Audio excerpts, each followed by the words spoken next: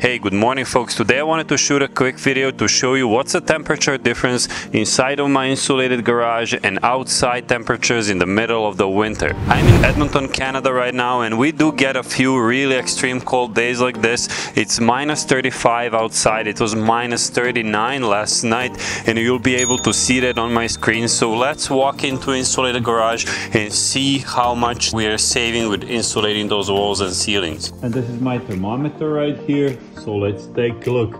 Minus 9. Wow, this is really incredible, guys. From minus 35 right here to minus 9. So that's such a big difference all the way from minus 35 to minus 9. That's almost 26 degrees difference what we got between inside of garage and outside what's really truly amazing. And I do go by Celsius but if you guys read Fahrenheit that would be all the way from um, minus 26 to all the way plus 17 in Fahrenheit. And that's truly amazing to get such a big difference. Uh, luckily because I really have this place well insulated and helps me a lot in the winter time and I'm grateful that all the work that I put in I fully recommend insulating your garage.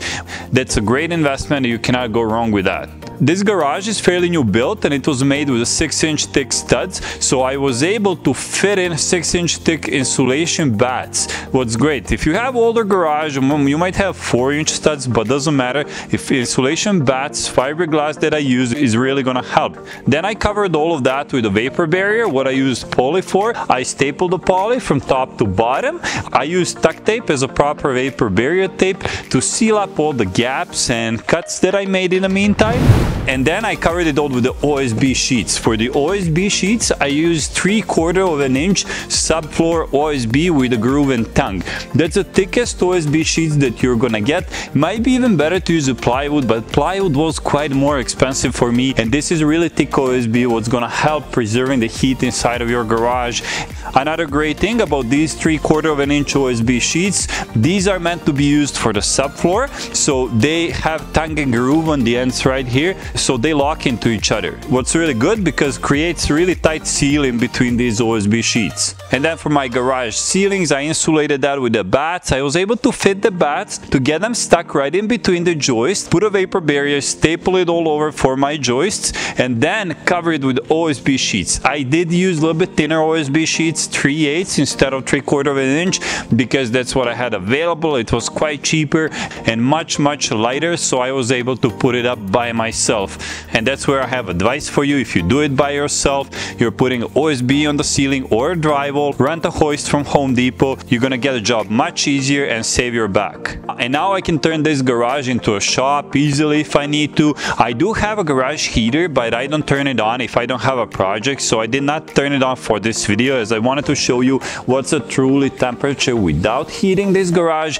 But if you don't have a garage heater and your garage is insulated, you can use a space heater heater, let it run for an hour or two and easily heat up your space at least a little bit so it's comfortable to work if you have a project you have to get something done. So I do recommend insulating garage. If you are selling your home, that's still an investment. You're gonna be able to add that to the price of your home. And even if you use drywall instead of OSB for your walls and your ceilings, as long as you stuff it up with a fiberglass in between, you're gonna have your garage warmer for 10 to 15 degrees comparing to the weather outside. And if you want to go into extremes and invest more and more money, you can even cover it with the OSB or plywood and then cover it with a drywall right over it. What I haven't seen anybody doing it yet, but if you're really spending lots of time in your garage, maybe that's a way to go for you. Another great thing about OSB comparing to a drywall is you can add as many screws and nails as you want to hang anything you want and later when you remove that, nobody will notice the holes and you don't have to patch it up like what you have to do with drywall. The only thing about insulated garage where you cannot do much